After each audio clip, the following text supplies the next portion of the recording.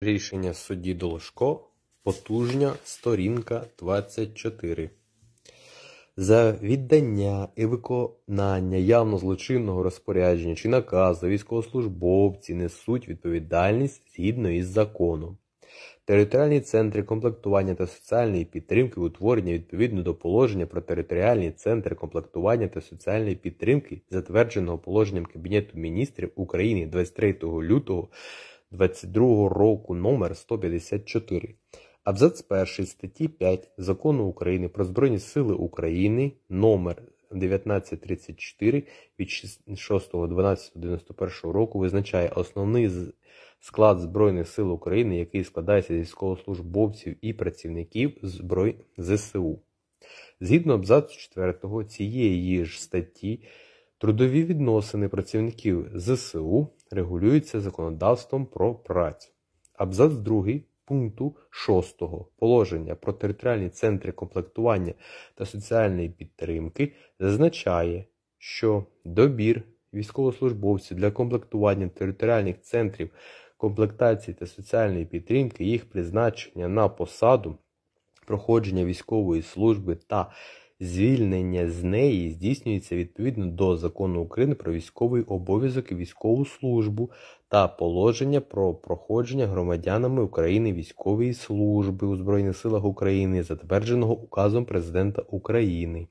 Суд звертає вашу увагу, що у положенні про територіальні центри комплектування та соціальної підтримки, а не закона положенні, йдеться про комплектування особового складу територіальних центрів комплектування та соціальної підтримки, а не Збройних сил України.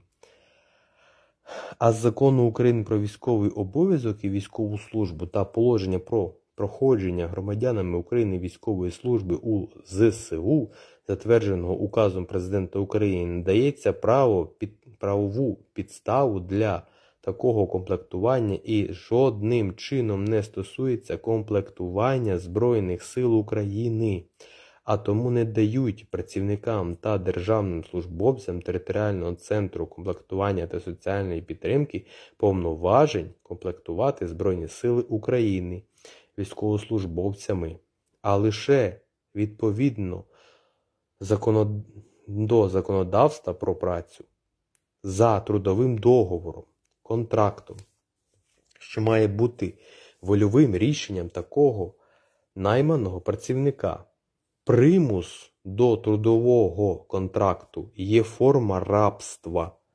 Тому в нас ці органи, які зареєстровані як приватні особи, працюють